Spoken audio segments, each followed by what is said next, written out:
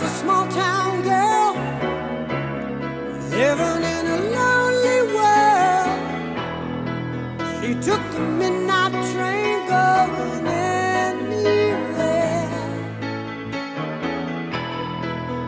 Just a city boy, born and raised in South Detroit.